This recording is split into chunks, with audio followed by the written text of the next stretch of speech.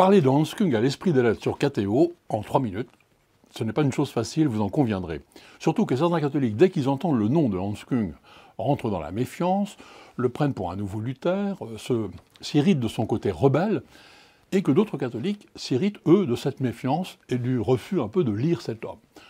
Bon, surtout, peut-être beaucoup ne savent pas très bien aujourd'hui qui est Hans Kung, et cela vaut donc la peine de présenter, de saluer son travail au moment de sa mort. Donc Hans Kung fut un des plus grands théologiens catholiques du XXe siècle, euh, une grande culture, très connue internationalement. Il est né en Suisse en 1928. Il a eu une euh, formation très classique et très complète, brillante, à la grégorienne à Rome, et il a enseigné en particulier en Allemagne à Tübingen. On peut suivre son parcours avec les deux tomes de ses mémoires, euh, sous-titrés Mon combat pour la liberté et Une vérité contestée. Alors, bien sûr, il se met en avant, c'est le genre littéraire qui veut ça, mais ça peut être un peu agaçant, mais c'est vraiment intéressant et ça permet de relire un peu toute l'histoire de l'Église récente. Bon, le grand événement, évidemment, pour Hans Kung a été le Concile Vatican II. Euh, il a été le plus jeune des experts invités au Concile en même temps qu'un certain Joseph Ratzinger. Et il est intéressant de noter que Ratzinger a toujours eu beaucoup d'estime pour son collègue Kung.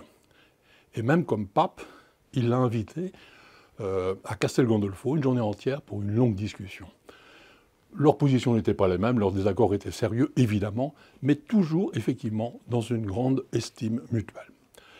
Et euh, si Hans Kung a, été exclu de l'enseignement canonique, il est toujours resté catholique et prêtre.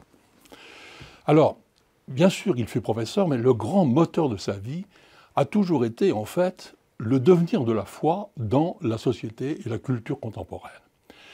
Et s'il s'est tant attaché à l'Église, à la réforme de l'Église, c'était précisément pour que l'Église soit davantage capable de présenter la foi au monde contemporain. Et c'est dans, cet esprit-là qu'il a repris un peu toutes les grandes questions. Je cite trois heures. D'abord, Dieu existe-t-il? Avec un sous-titre, Réponse à la question de Dieu dans les temps modernes. Non pas simplement répéter ce qui a été dit, mais se confronter à toute la philosophie à toute la mentalité moderne pour essayer de donner une réponse qui soit réellement audible par nos contemporains. Et euh, c'est un assez gros livre, mais on s'aperçoit que Kung écrit très bien, écrit très clair, il a l'esprit vraiment très vif, si bien qu'il euh, rend les, les questions difficiles tout à fait intéressantes. Ensuite, être chrétien, toujours dans le même esprit, non pas en soi, mais être chrétien aujourd'hui en prenant bien en compte la situation qui est la nôtre. Euh, c'est un livre qui a eu beaucoup de succès, peut-être un peu sa grande œuvre, euh, qui a suscité aussi évidemment beaucoup de, débats. Et puis, petit traité du commencement de toute chose, même, euh, même réflexion sur la création, comment penser la création, comment croire à la création dans l'univers scientifique qui est le nôtre. Voilà, et je termine avec un petit brin de, provocation pour vous conseiller la lecture de Peut-on encore sauver l'Église? Le titre lui-même indique que pour Kung, la, réforme est urgente et qu'elle doit être radicale. Alors, bien sûr, ça vous donnera beaucoup de matière à réflexion, beaucoup de matière à discussion, mais euh, franchement, je crois que ça en vaut la peine.